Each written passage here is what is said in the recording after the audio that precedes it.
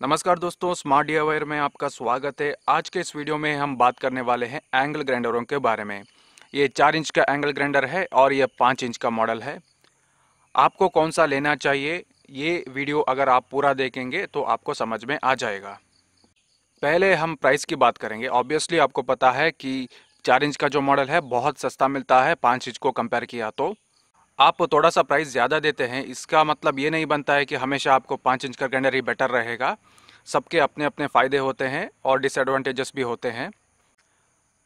ग्राइंडरों की साइज़ के बारे में हम बात करें तो आपको हमेशा ग्राइंडर का साइज़ जो है, वो आपका मोटर जो रहता है, अंदर वो डिसाइड करता है। ये आप देख सकते हैं, ये 670 वाट का एक मोटर है, जो कि आप एक हाथ में पकड़ सकते हैं। ये 1200 का मोटर है, आप एक हाथ में इसको चला नहीं सकते हैं। और ये जो मॉडल है, अपना 800 वाट का है। और अगर आपका हाथ बड़ा है तो आप भी उसको चला सकते हैं। मैं भी चला सकता हूँ एक हाथ में, लेकिन मुझे उतना कंफर्ट नहीं रहता है। अगर आप एंगल ग्राइंडर चलाते समय कंफर्टेबल फील नहीं होते हैं तो आपको हमेशा दो हाथ का ही इस्तेमाल करना पड़ेगा, क्योंकि एक्सीडेंट्स बहुत ज़्यादा होते हैं, हाथ से फिसलने का चांसेस भी ज़्यादा होते हैं। और जब भी आप एंगल ग्राइंडर चलाते हैं तो हमेशा गार्ड का इस्तेमाल करें। वो भी पर्टिकुलरली कटिंग डिस्क और ग्राइंडिंग डिस्क के लिए। सेफ्टी ग्लासेस ज़रूर पहने। देखिए बेसिकली जो एंगल ग्राइंडर होते हैं, वो दो तरह के आते हैं। ये कि इस तरह के, जहाँ पे आप एक हाथ में ऑन ऑफ़ भी कर सकते हैं, एक हाथ में आराम से पकड़ सकते हैं। और इसी डिज़ाइन में आपको और एक एंगल ग्राइंडर मिलता है, जो कि उसका बटन जो है वो पीछे रहता है, उसको हम टॉगल स्विच कहते हैं। उसमें एक डिसएडवांटेज है कि आप उसको ऑन ऑफ़ करने के लिए आपको हमेशा दो हाथ का इस्तेमाल करना पड़ेगा। इसमें वैसा नहीं है, आप सिर्फ़ आपके राइट हैंड में इसको कंट्रोल कर सकते हैं। और दूसरा जो डिज़ाइन है, वो है लार्ज टाइप इस तरह के। यहाँ पे ऑब्वियसली आपको दो हाथ का इस्तेमाल करना पड़ेगा। भारत में ज़्यादातर इस तरह के जो डिज़ाइन में आपको ग्राइंडर मिलते हैं, वो पाँच इंच से ऊपर के साइज़ के होते हैं, पाँच इंच, सात इंच और नौ इंच।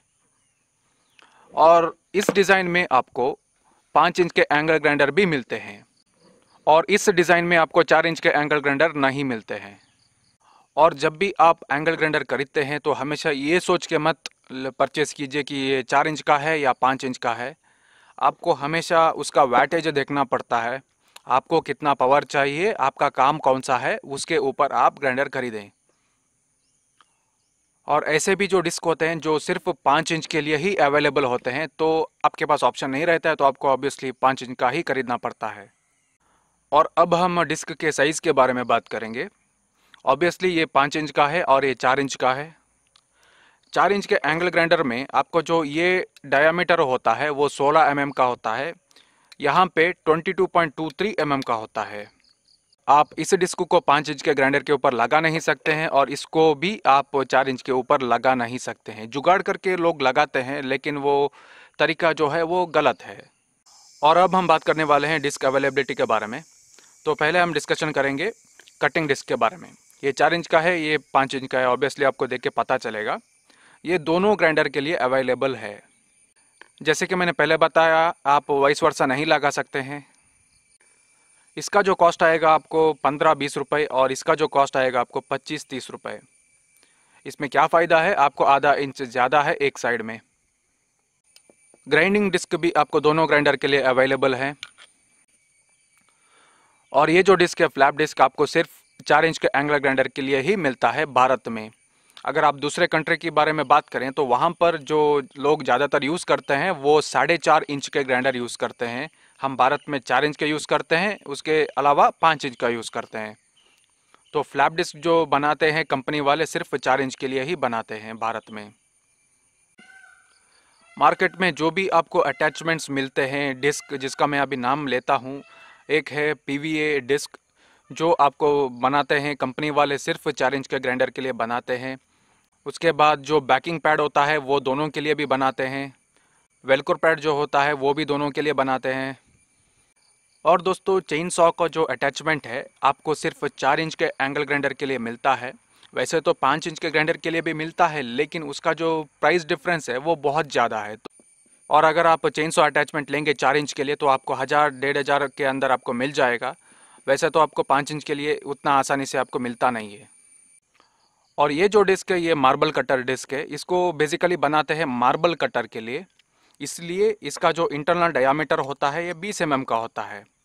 चार इंच के ग्राइंडर का जो इंटरनल डायामीटर होता है, वो सोलह एम mm का होता है। तो आप इसको यहाँ पे बिटा नहीं सकते, आसानी से इसलिए आपको स्टेप अप रिंग मिलता है एक, जिसको लगा के आप इसे बिटा सकते हैं। और इसका जो पाँच इंच का जो वर्सन आता है आपको, उसका जो बोर्ड डायामीटर रहता है वो 22.23 टू mm रहता है। बिल्कुल आपके पाँच इंच के फ्लैंच के साइज़ के बराबर रहता है। और उसी में भी आपको इस तरह का एक स्टेप डाउन रिंग मिल जाता है, जो कि आप मार्बल कटर के लिए लगा सकते हैं। और सब ग्राइंडर के लिए अपने अपने गार्ड के साइज़ होते हैं। गार्ड के साइज़ के हिसाब से ही आपको डिस्क लगाना पड़ता है। चार इंच के ग्राइंडर में आपको एम टेन का नट मिलता है और पाँच इंच के ग्राइंडर में आपको एम का नट मिलता है। पाँच इंच के ग्राइंडर हो या सात इंच के ग्राइंडर हो या नौ इंच के ग्राइंडर हो, सारे ग्राइंडरों में आपको हमेशा एम फोर्टीन का ही नट मिलता है। उसका मतलब ये बनता है कि आप बड़े डिस्क भी पाँच इंच के ग्राइंडर के ऊपर लगा सकते हैं, लेकिन आपको इस डिस्क में एक ड्रॉबैक मिलता है। इसका जो स्पीड रेटिंग यहाँ पर दिया हुआ है, वो आठ हज़ार पाँच सौ दिया हुआ है। लेकिन इस ग्राइंडर को जो स्पीड रेटिंग दिया हुआ है, वो ज़्यादा दिया हुआ है। तो इसलिए इस डिस्क को इस ग्राइंडर के ऊपर रख के चलाना गलत चीज़ है। और अगर आपको ग्राइंडर का जो आरपीएम है और इसका जो आरपीएम है मैच होता है तो आप जब भी इस डिस्क को लगाएँगे तो हमेशा सही साइज़ का गार्ड के साथ ही आप लगाएँ। और आपका जो मेन पर्पस है ग्राइंडर लेने का, अगर कटिंग का है तो मैं आपको ये सजेस्ट करूँगा कि आप हमेशा पाँच इंच का ग्राइंडर ही ले लें, क्योंकि डिस्क आपको बड़ा आता है, आप ज़्यादा देर तक कट कर सकते हैं और ज़्यादा मोटा मटेरियल भी कट कर सकते हैं, चार इंच के डिस्क को कंपेयर किया तो। और मेटल कटिंग करने के लिए आपको इस टाइप का भी डिस्क मिलते हैं, जो कि है डायमंड कटर डिस्क और इसके बारे में भी मैंने एक अलग से वीडियो बनाया है, जिसका लिंक मैंने ऊपर आई बटन में दे दिया है। आप चाहे तो वो देख सकते हैं वीडियो और दोस्तों, अभी हम डिस्क यूजेबिलिटी के बारे में बात करेंगे, यानी कि इस कटिंग डिस्क का पाँच इंच के ग्राइंडर के ऊपर और चार इंच के ग्राइंडर के ऊपर कितना यूजेबल रेंज होता है। ये चार इंच का डिस्क मैंने चार इंच के ग्राइंडर के ऊपर लगाया है। 25 फाइव mm लगभग आप एक इंच तक का मटेरियल आप काट सकते हैं। उसके बाद ये जो हाउसिंग है ग्राइंडर का वो आपको आप, आपके मेटल के साथ टक्कर देता है। यानी कि उससे ज़्यादा आप इस डिस्क को यूज़ नहीं कर पाएँगे। सो so, चार इंच के ग्राइंडर में 25 एम mm और अब हम पाँच इंच के ग्राइंडर का यूजेबल रेंज मेजर करेंगे। यहाँ पर आप देख सकते हैं, ये भी आपको लगभग 25 एम का ही रीडिंग दे रहा है।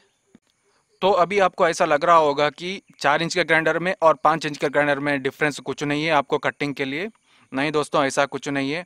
मैं इसलिए आपको पहले बताया, अगर आपका सिर्फ़ कटिंग का काम है तो आप इस डिज़ाइन में ही पाँच इंच का ग्राइंडर ले लें ताकि आपका जो यूजेबल रेंज होता है वो बढ़ सके, क्योंकि इसका जो ग्राइंडर का हाउसिंग है वो बहुत बड़ा है, इसको कंपेयर किया तो।